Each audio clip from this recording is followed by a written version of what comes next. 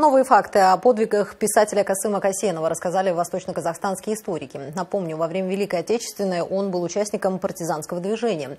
За подвиги на войне ему дали звание народного героя. А после возвращения с фронта Касенов написал о партизанах десятки книг. Ирина Икунина продолжит. Касым Кайсенов родился в Восточном Казахстане. В 1941 году после спецподготовки был заброшен на Украину в тыл немцев. Задача была организовать партизанское движение, но связник группы оказался предателем. Из десяти человек в живых остался только Касым Кайсенов. Он долго блуждал, пока не вышел на подпольщиков. С ними он организовал партизанские отряды, которые громили фашистов в тылу. И к 1943 году это было уже мощное объединение партизан. В отряде Касыма Касенова все называли Вася. Ну вот многие говорят о том, что там не могли кто-то выговорить его имя Касым. Нет, так как он все-таки был, работал в подполье, то закон подпольной работы и партизанской – это, безусловно, клички. И вот у нас в фондах музея есть письма партизан, которые писали ему уже в послевоенные годы. Они так ему и пишут «Здравствуй, Касым Вася». То есть вот это э, имя за ним так и закрепилось.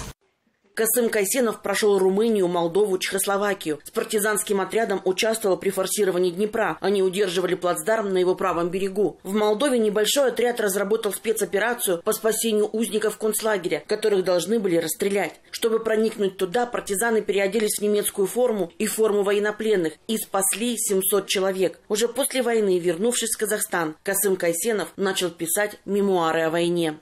В 1954 году была издана первая книга, которую он написал. Она называется «Юные партизаны». То есть первая книга посвящена не партизанам взрослым, а именно детям-партизанам. И вообще Касым Касинов является основателем жанра военных мемуаров нашей казахстанской литературе.